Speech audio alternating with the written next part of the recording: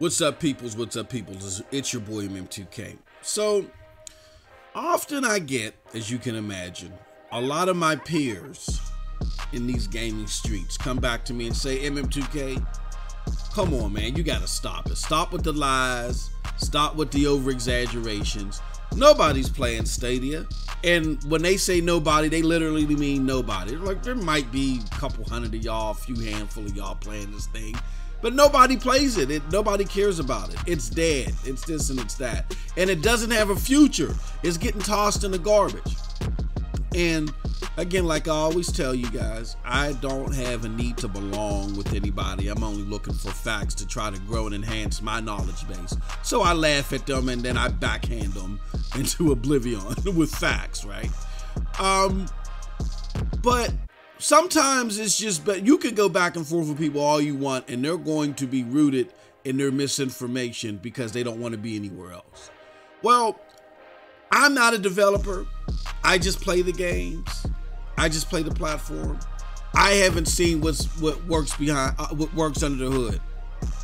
But a major developer that has has come out and said some very very brow raising things eye opening things about Stadia, its current state right now in early access, why people that are sitting there judging this thing in early access are only fools, and that this thing has long term investment embedded into it, and that it will, these are not my words, this is their words, it will blow your mind.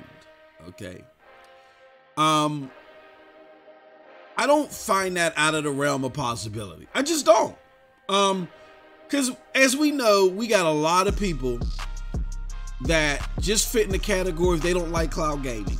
I've had people come to me after I backhanded them with facts, like I've said earlier, and they just broke down and said, you know what, you're right. I don't know what I'm talking about. I just don't like the prospects of cloud gaming.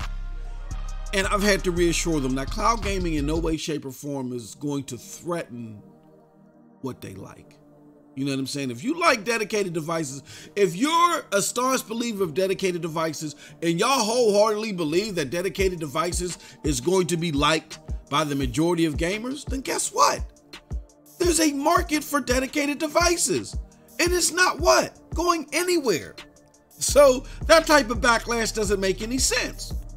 But for people that follow foolish publications like Google Graveyard without looking in depth, without kicking the tires like people are prone not to do in this community, and seeing what's all out there and why it's there, and if if maybe if a lot of the stuff, if not the majority of the stuff that's out there, isn't compromised, uh, uh isn't uh, um, isn't made up of uh, things that not have just gone away, but have been made up of things that have merged into new stuff.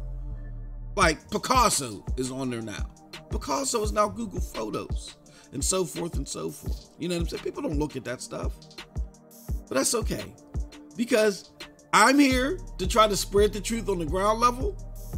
But if you don't want to believe me, if MM2K, MM2K don't know no tech, right? He don't know what he's talking about. If y'all don't want to listen to me, then y'all can listen to a developer. to a developer that's seen what's under the hood. And I, again, this developer said that, I repeat, when you see the full gambit of what Stadia has to offer, when they get out of early access mode, it will blow your mind.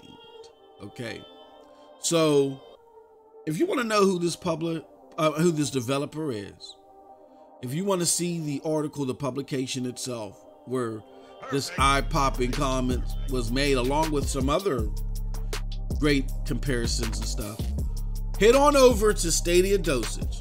We have now started a conversation there where we're talking about all this where we're making everyone aware of this article something that may have slipped under people's radars because they think because there's radio silence and nobody's playing Stadia, Stadia is there, and that's not the case. Gamers that are playing the games, they are you know, going back and forth with Stadia about, hey, you know, we want to know news about more games. And then we got news about Doom, and that's great. And I'll talk about that in a later video. But those gamers, they don't get here, go on Twitter and, and, and battle in the console war. They just play the damn games. Which I wonder if y'all play any damn games. You know what I'm saying? But that's here nor there. Um, they're just playing the games and they already know what it's capable of. And again, we have a developer that knows what's under the hood, that has has experience with with what's under the hood, and they have said that again, when you see everything that Stadia is capable of, when all that releases, it will blow your mind. So, regardless of how you feel about cloud gaming, regardless of how you feel about Stadia, come on over to Stadia Dosage, be part of the discussion, so you can at least again do what? Argue from a place of knowledge. And with that said, that's it from your boy MM2K. Can't wait to see you over there. Come on over. Link is below. Join the discussion. Let's let's do this, baby. Let's talk about it. And with that said, y'all have a wonderful, wonderful gaming day.